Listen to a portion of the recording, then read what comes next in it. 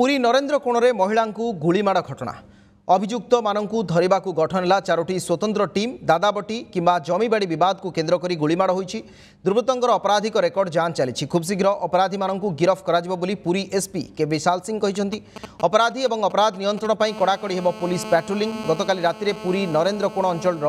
ଦାଦା ବଟିକୁ କେନ୍ଦ୍ର କରି ଶକୁନ୍ତଳା ସାହୁଙ୍କୁ ଗୁଳିମାଡ଼ ହୋଇଥିଲା ଗୁରୁତର ଆହତ ଶକୁନ୍ତଳାଙ୍କୁ ପ୍ରଥମେ ପୁରୀ ସଦର ମୁଖ୍ୟ ଚିକିତ୍ସାଳୟ ଏବଂ ପରେ କଟକ ଏସ୍ସିବିକୁ ସ୍ଥାନାନ୍ତର କରାଯାଇଥିଲା ସେ ଅଞ୍ଚଳର ଦୁର୍ଦ୍ଦାନ୍ତ ଅପରାଧୀ ବିଜୁ ବେହେରା ଏବଂ କାଳିଆ ବେହେରା ଗୁଳିମାଡ଼ କରି ଫେରାର ହୋଇଯାଇଥିବା ପୁଲିସ୍ କହିଛି ପୂର୍ବରୁ ଶକୁନ୍ତଳାଙ୍କୁ ଦାଦା ବଟି ମଗାଯାଇଥିଲା ଗୁଳିମାଡ଼ ପରେ ଦୁର୍ବୃତ୍ତ ଦ୍ୱୟ ପୁଣି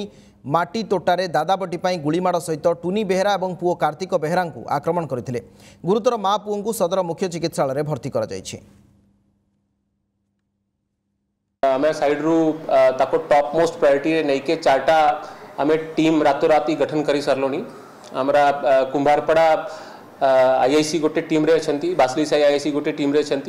सदर आई आई सी गोटे टीम अच्छा और चंदनपुर आई आई सी चार्टा टीम रा गठन कराई सिटी डीएसपी और एडिशनल एसपी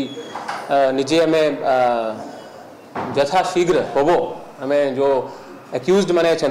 तो नोन अच्छा तो ताको को आमरा फुल प्रूफ एफर्ट और हंड्रेड परसेंट एफर्ट आम पूरी पुलिस साइड रु चली